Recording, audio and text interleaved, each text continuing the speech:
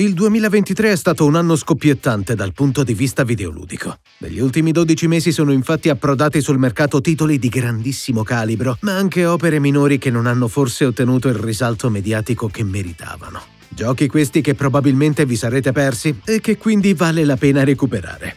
E allora perché non stilare un bel elenco delle perle nascoste che ci ha regalato l'anno che sta per concludersi? Seguiteci e poi non dite che non vi vogliamo bene, eh? Ok, e partiamo con un titolo che arriva addirittura dall'Indonesia, ovvero A Space for the Unbound. In questa avventura punta e clicca scopriremo la storia di Atma e di varie figure che ruotano attorno a questo ragazzino delle scuole superiori che si barcamena tra ansia, bullismo e depressione. È una storia che parla quindi di crescita, di problemi del sistema scolastico e delle aspettative dei genitori. Una vicenda impreziosita anche da un tocco soprannaturale che comunque non prevarica la concretezza di ogni sequenza narrativa. Con la sua ambientazione affascinante e una direzione artistica fuori scala, e Space for the Unbound è insomma assolutamente da giocare. Garantito. Qual è il prezzo giusto per un videogioco? Beh, in questo caso non serve nemmeno chiederlo perché Moonring è completamente gratuito. Non parliamo però di un free-to-play con microtransazioni e pass battaglia, bensì di un gioco di ruolo classico totalmente disegnato a mano. Completamente in 2D e con visuale dall'alto, Moonring è quindi un viaggio complesso con una trama intricata, tantissime linee di testo e un'interazione da avventura testuale in cui è necessario introdurre parole chiave. Siamo al cospetto di un prodotto che unisce quindi idee retro e una sorprendente modernità e che aiuta anche chi è più giovane a proseguire nell'avventura senza spingerlo a mollare alla prima difficoltà. Nei mondi post-apocalittici i sopravvissuti sono spesso chiamati a perdere la propria umanità e la violenza è l'unica moneta accettata. Se per una volta però desiderate un cambio di registro, beh, allora Sea Chronicles fa davvero al caso vostro. L'alluvione ha trasformato il mondo in un insieme di isolette in un grande mare salato e i suoi abitanti si sono fusi con alghe, uccelli, pesci e funghi. E il sentimento fondante di queste nuove civiltà è alquanto bizzarro. L'avidità porta al disastro e accumulare significa quindi perire. Uno dei sistemi di gioco si basa proprio su questo. Non bisogna accumulare troppi punti. Nella storia della nave De Kelp in cerca della capitana Maya non ci sono scelte sbagliate e avanzare significa solo rendere la nostra storia più personale. Grazie alla sua scrittura vibrante e un ampio mondo da scoprire, Salt Sea Chronicles è quindi un'esperienza caldamente consigliata per chi crede che post-apocalittico non significhi solo morte e distruzione. Mediterranea Inferno ci porta in Puglia per una vacanza post-pandemia di Covid. In questa pura visual novel seguiamo il Ferragosto di Claudio, Andrea e Mida, un trio quasi leggendario per i festaioli milanesi. Quello che però doveva essere un momento per riunirsi diventa presto una fusione di conflitti, recriminazioni e sentimenti drammatici in cui a farla da padrone è l'aspetto visivo. In un mix che chiama in causa Giorgio De Chirico, Alejandro Hodorowski e la cultura pop, Mediterranea Inferno è senza dubbio uno dei giochi più particolari della nostra selezione. In termini puramente numerici, il mercato videoludico VR non riesce a stare al passo con i giochi classici, ma non per questo mancano i capolavori.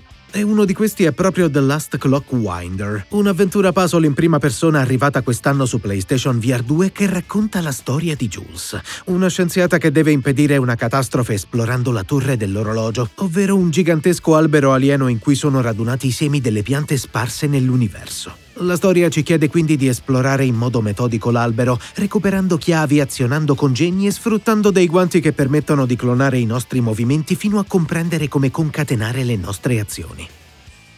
Ebbene, dopo aver visitato l'Indonesia e l'Italia, ora è il momento di scoprire l'India, dal punto di vista di una famiglia immigrata in Canada. Vemba è sia il nome del gioco sia quello della protagonista, che ci racconta la sua vita a suon di ricette tratte da un quaderno tramandatole dalla madre ma rovinatosi durante il viaggio. La donna dovrà quindi riscoprire queste ricette, riempire gli spazi vuoti e trasmettere sentimenti profondi con il proprio cibo, che guarisce il corpo ma soprattutto l'animo. Così, se volete conoscere la storia di una famiglia ma anche di un'intera cultura, Vemba vi scalderà sicuramente in queste fredde giornate di dicembre. Spesso ci si lamenta che con l'avanzare della tecnologia il modo di giocare rimanga in realtà sempre lo stesso. Bene, ecco quindi un titolo giocabile solo su Nintendo Switch proprio per via della possibilità di staccare i controller, ovvero Give Me Toilet Paper. Per giocare è infatti necessario usare un rotolo di carta igienica in cui infilare uno dei Joy-Con, così da salvare un uomo che si è seduto sul trono ed è rimasto senza carta. Si tratta di un'esperienza breve, certo, ma è anche una delle idee più originali in commercio, quindi non fatevela sfuggire. In Videoverse interpretiamo Emmet e possediamo una console Shark con cui accedere a un social network ispirato a quelli reali di inizio anni 2000. La storia si concentra però sulla chiusura del servizio ormai prossima, un evento questo che spezzerà inevitabilmente i legami creatisi tra gli utenti e che diventerà uno strumento per raccontare privilegi, disabilità, adolescenza e dipendenze affettive senza però mai risultare didascalico. Se volete quindi intraprendere un viaggio nostalgico, commovente e rigiocabile, beh, questo è il titolo che fa per voi. Chance of Senna ha reambientato nella torre, una sorta di Babele nella quale ogni popolo parla una lingua diversa e che proprio per questo è incapace di comprendere le altre civiltà. E in questo colorato puzzle game noi vestiremo i panni di un semplice viaggiatore che esplora la torre e che possiede la migliore delle capacità, ovvero l'ingegno. Il gioco fornisce infatti molti indizi visivi per le diverse azioni eseguibili e noi dovremo comprenderne il significato per poter completare i vari compiti e proseguire. Quello di Run Disc è quindi un titolo dal comparto artistico eccellente che offre anche un approccio originale, nonché un'autentica ventata d'aria fresca nel panorama videoludico. Cosa succede quando Nintendo non si decide a realizzare un nuovo Wario Land? Beh, succede che qualcuno crea il proprio Wario Land. E stiamo parlando ovviamente di Pizza Tower, un platformer 2D che guarda al passato per divertire i giocatori di oggi.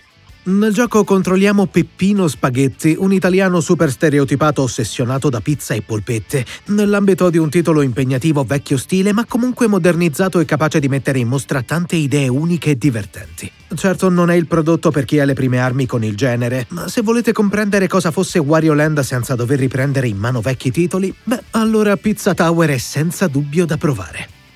Bene, e queste erano le nostre perle nascoste del 2023. Ovviamente la lista potrebbe includere anche altri nomi ed è per questo che ora tocca a voi. Diteci la vostra nei commenti e non dimenticate di iscrivervi al canale per non lasciarvi sfuggire nessuno di quei titoli che passano un po' in sordina ma che meritano comunque di essere giocati. Nel frattempo qui accanto trovate come sempre dei video che potrebbero interessarvi. Alla prossima!